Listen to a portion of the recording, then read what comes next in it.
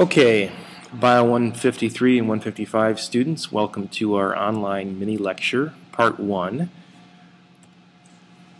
Now, um, I want to talk about um, both the pre-assessment experiment that uh, we had you guys write an abstract about, and then I want to talk about the termite experiment that you guys collected data on this week, because we made it so the experimental design is very similar between these two experiments. So first let me talk about the London and Jeanne paper that you read for your uh, pre-assessment on scientific reasoning and writing.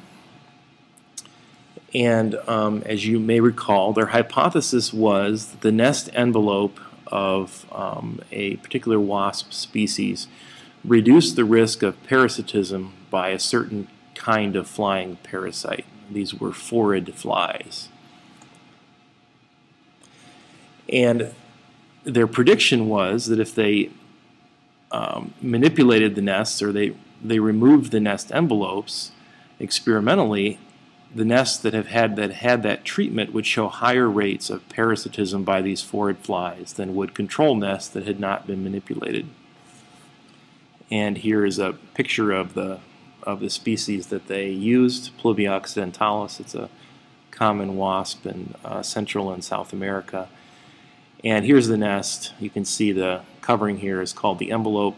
This is the entrance here. And uh, for this experiment, they removed the bottom part of the envelope for a treatment nests. and here is a, a graphic of their design. Um, you may remember that they did half of the study in Costa Rica and half of the study in Venezuela. Um, so this graphic then shows how that was set up. Uh, each one of these white blocks here shows a pair of nests.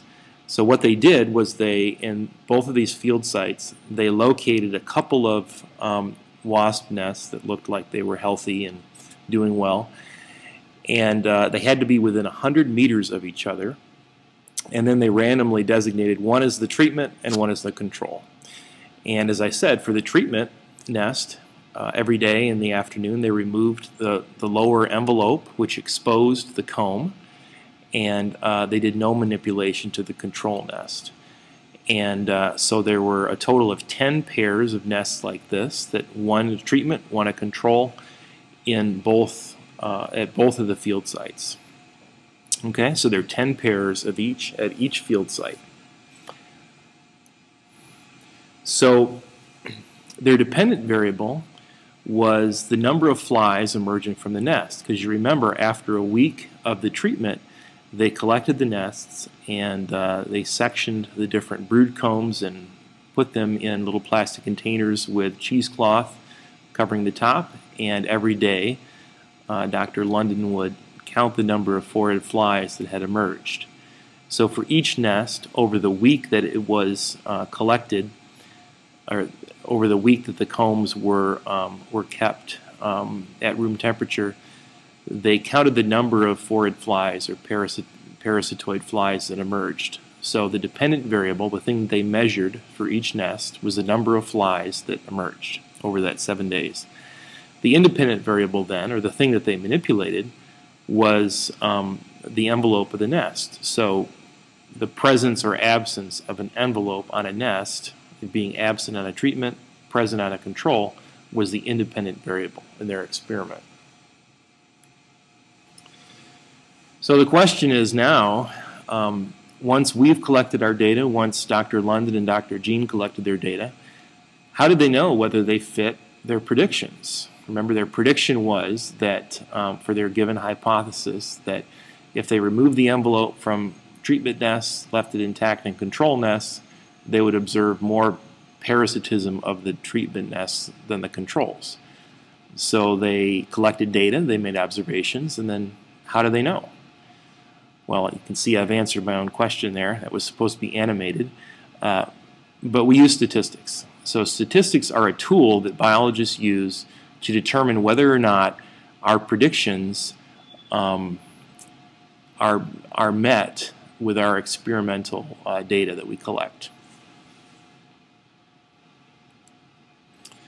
So it's important when talking about uh, statistics and um, hypothesis testing in biology that uh, we um, define some things. Uh, one thing that is very often confusing for students is uh, statistical hypotheses because we talk about normal hypotheses, biological hypotheses, and then we talk about statistical hypotheses, and uh, they're a little bit different from each other. Uh, statistical hypotheses are predictions that are very specific, so they're actually predictions that are specific to a particular experimental design. And we'll talk about what they are in this, in this case in a second. Whereas a general biological hypothesis is, uh, is much broader. So statistical hypotheses, um, one statistical hypothesis is referred to as a null hypothesis. And the null hypothesis always assumes that there's no relationship between our dependent and independent variables. Um, whatever pattern we may observe is just due to chance. There, um, so, for example, with the wasp's nest, the the um, observation of um, the number of flies emerging between treatment and controls whatever patterns observed would just be due to chance. And the alternative hypothesis then assumes that there is a relationship between our dependent and independent variables. So it assumes that, uh, that uh, the dependent variable does not vary only due to chance, but due to our manipulation of our independent variable. So in this experiment, the null hypothesis was that the proportion of treatment nests, so nests that had the envelope removed, uh, with more phorid flies emerging than controls. So remember, there were pairs of treatment and control. So um, the number of times that the treatment nest would have more parasitoid flies that emerged from it than its corresponding control nest um, would be uh, 0.5. Or there'd be a 50-50 chance on whether the treatment nest would have more parasites emerge from it versus the control nest. So that's the null hypothesis, that uh, there's no relationship between envelope presence and risk of parasitism by phorid flies. Then the alternative hypothesis, or H sub A, is that the proportion will not be equal to 0.5. So it assumes there is a relationship between the dependent and independent variables. And so here are what their data look like for each of the field sites. Now you can see that um, there's some X's down here. I think this is because some of the nests and some of the pairs didn't survive um, the whole week that they were exposed to the treatment.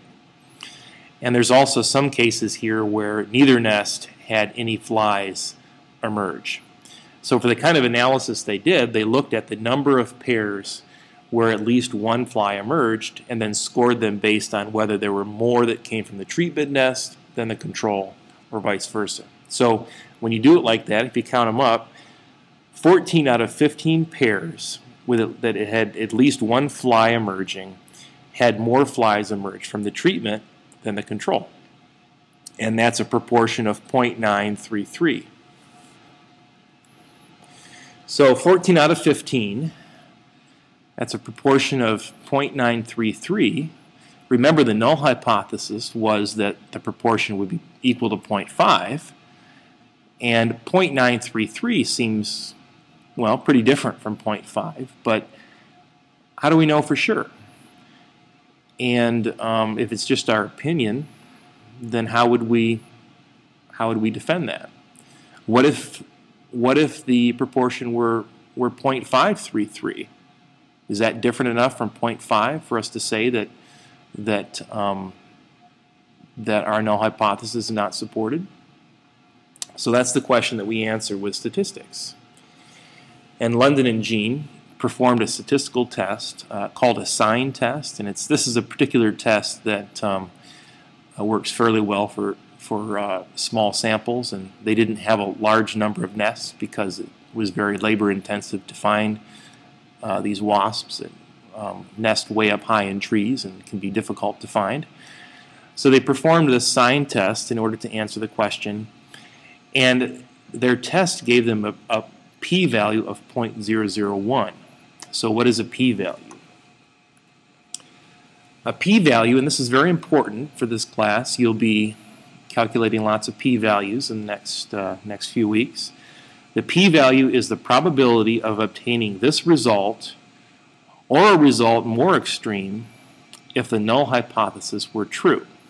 So if the null hypothesis were true, that um, there's no relationship between the dependent and independent variables or the presence or the presence of an envelope and the risk of parasitism, this is the likelihood that our data would produce um, this result, 0.001. And by convention in biology, we reject our null hypothesis or we say that the data are sufficient that that um, they don't meet predictions of our null hypothesis if our p-value is 0.05 or less. So in this case, because their p-value was less than 0.05, London and Jeanne then rejected their null hypothesis, which was the proportion of treatment nests with more phorid flies emerging than controls would be 0.5. Remember, their observed value was 0.933. They used their statistical test that determined that that was different enough from 0.5 that they could say that uh, they reject their null hypothesis.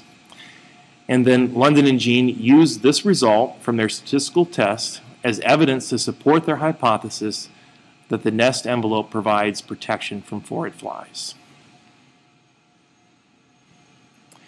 Okay, we'll pause for a second.